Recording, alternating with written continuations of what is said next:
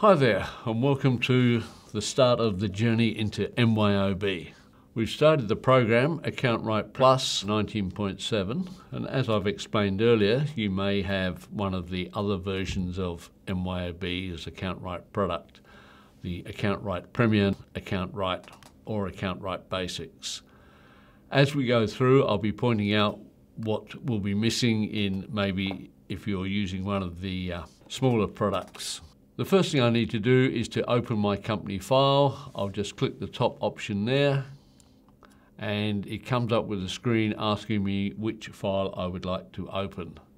There are two currently shown here. One is Clearwater and the other is my company file. Clearwater is a sample company provided by MYOB and it's a great area to play in. If there's something you're not sure how to do, open Clearwater and you'll be able to play around in there, see and test how things work before actually doing them in your own company file. We're going to get straight into my company file. Click and open. And the first thing that comes up is a thing that says enter your user ID and password. Your user ID, the default will be administrator, and the password, there isn't currently one on here. When you first set it up, depends on how many people use your computer as to whether you want to restrict access to yourself or other people. You can have several users if you're using the AccountRight Premier product or the AccountRight Plus product in future.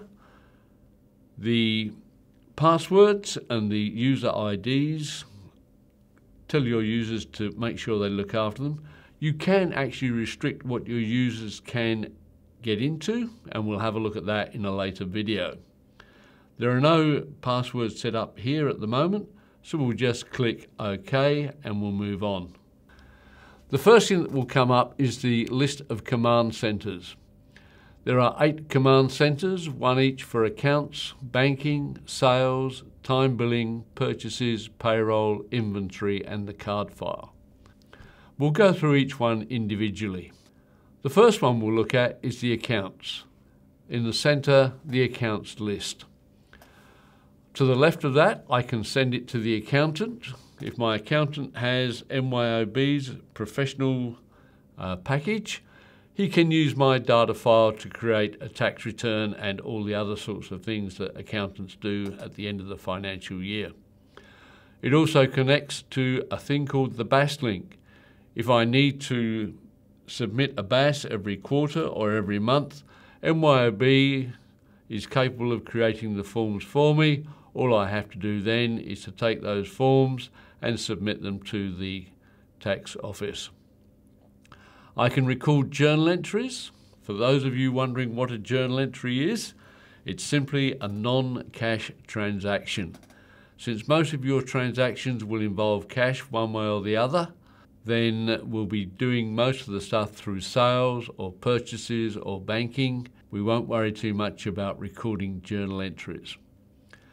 To the left hand side, I also have the ability to transfer money between one account and the other it's a fairly quick and straightforward method, which a lot of people do use. At the bottom, on the right hand side, I've got the company data auditor, which provides me with certain information, which allows me to look at who has been doing what. It also shows me how up to date I am in managing my company. And I also have an area known as Business Insights, at the moment, there's not much to be looked at. We'll come back to those and look at them later on. Down the bottom, it says Transaction Journal. Basically, a simple list of debits and credits that I've put through with every single transaction. Across the bottom of the screens, I have a thing called the to-do list. This is an aid to my memory, things that I need to do today. I also am able to find transactions and I'll be going through exactly how we do that later on. There are lots of reports that are available. I need seven basic reports uh, to run my business. You may need more, you may need less. And it also provides me with some analysis tools. which I can look at to make sure my business is running.